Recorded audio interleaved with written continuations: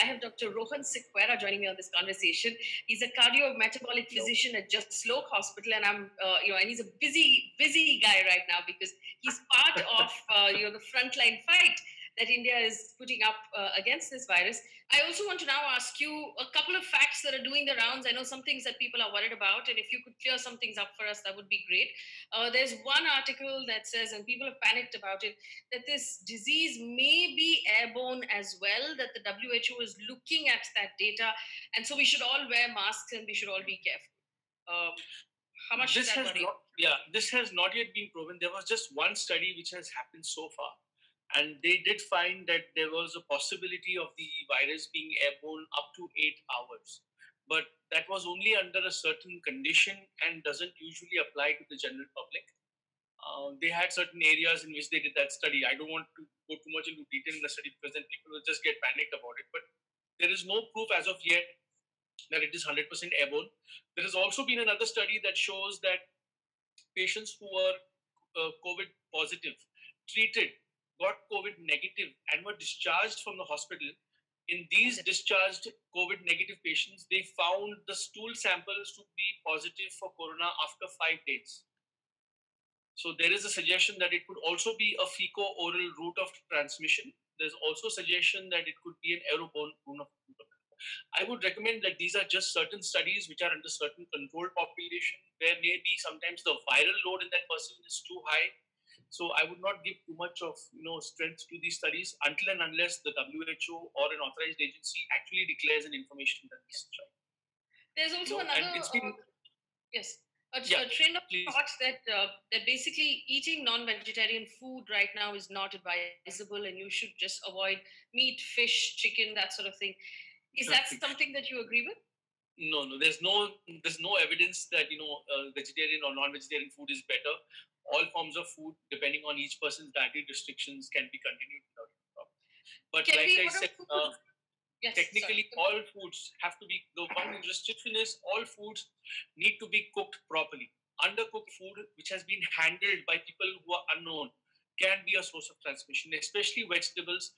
Uh, it's advised to soak them in a slightly saline solution of warm water where the salinity can actually cause you know the, the, the vegetables. For example, just dissolve some salt in. Don't wash them with uh, antiseptic because that's not going to taste well. But you know, put some salt in some hot water and soak your vegetables for a while in that, and then take them off. That should usually help you disinfect. Would that then apply to say bread or any other food that we bring from outside? Bread is unless unless your bread is open, I wouldn't advise. I don't think bread uh, is available in the open form so far. But if it's a packaged bread, I think those are usually made under hygienic conditions. Right. Uh, what about ordering food from restaurants to have it delivered? Is that something we should worry about? I would not be able to you know advise older patients, especially because I do not have any control over the food manufacturing setup right now. I do not know who's cooking the food right now, and especially if I'm a vulnerable group like an elderly group, then I would be a little bit worried about that. You know, so especially in my house, you know, uh, my family, I've not allowed them to order any online food. Not that I don't want to, but the grocery stores which are supplying food for you in a packaged form, those should be fine. Um, also, there's some question about pets that uh, you know there was there was a notice put out, in fact, by our own BMC that they they then withdrew it, but it caused some panic that our pets are carriers of the disease or our dogs are giving us the disease. There's no research that that confirms that, is there? There, there is no research. There is some evidence that says that we could have got this as a zoonotic transmission from bats to human beings, but there is so far, as of today, there is no evidence that there's an animal human transmission. In fact, I had some of my own colleagues tell me that they have bats which live in these buildings in Bombay because Bombay's got a lot of bats. I mean Mumbai, sorry. Yes. Mumbai's got a lot of lot of bats around, which you see them at seven o'clock. So I actually had patients come up to me and ask me. Uh, in fact, one of my patients asked me. Uh, he, he's a 75 year old uh, patient of mine. He used to live in the US. He's in India.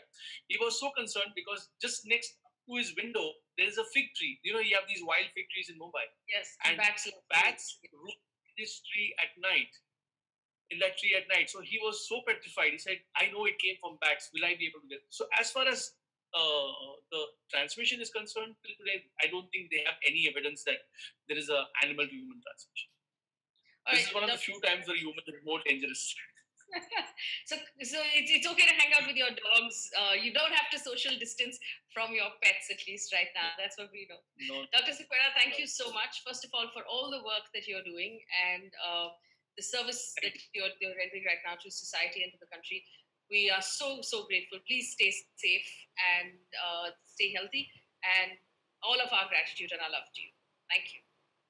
Thank you, Faye. You are also doing a wonderful job. All of you in the media, hats off to you because you are out there just with us, fighting this together, and you know you're bringing the right information to the right people, and we are so grateful to you. Thank you so much. Thank you. This was really helpful. Welcome. Thank you so much. Thank you. Thank you.